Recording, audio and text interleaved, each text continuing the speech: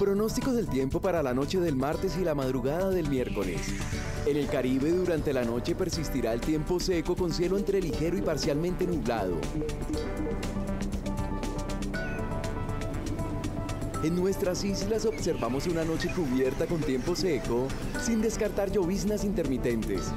En el litoral del Pacífico se estima clima seco con probabilidad de precipitaciones en el departamento del Cauca y en Nariño.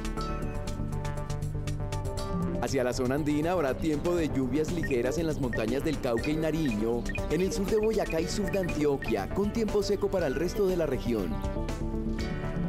Hacia los llanos orientales es posible que caigan lluvias al oriente del Bichada, con condiciones de clima seco para el resto de la llanura.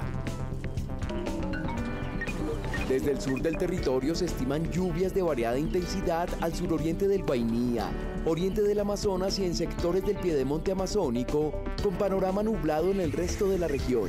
Sobre la capital predominará el tiempo seco y cielos parcialmente nublados en la mayor parte del área.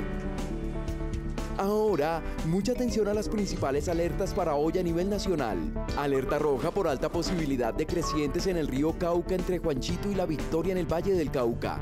Alerta roja por alta posibilidad de incendios forestales en varias regiones del territorio nacional con excepción del litoral del Pacífico. Alerta roja por alta amenaza de deslizamientos de tierra ocasionados por las fuertes lluvias en los departamentos del Huila, Quindío y Nariño.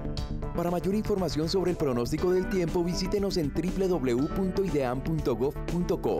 Y para estar informado al instante, descarga nuestra aplicación Mi Pronóstico desde Google Play o App Store. Información en tiempo real, detallada, satelital, recomendaciones y muchas opciones de interacción. Síganos a través de nuestras redes sociales.